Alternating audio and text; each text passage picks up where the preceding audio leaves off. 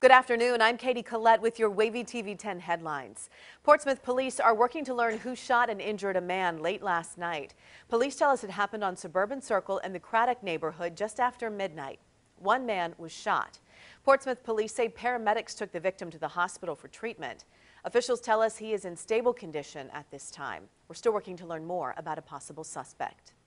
Newport News police are investigating a shooting. Officials say it happened on Natalie Circle back on Sunday around 1.30.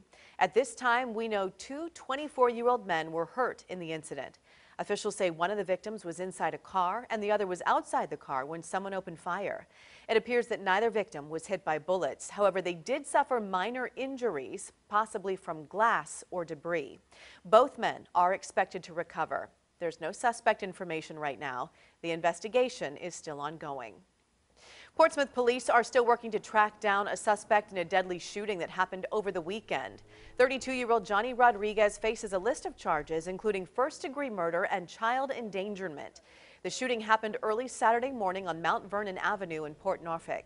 If you know anything about this shooting or Rodriguez's whereabouts, call the crime line or use the P3 Tips app. Remember, you can find all of your headlines and your Super Doppler 10 forecast throughout the day on wavy.com. Have a great day.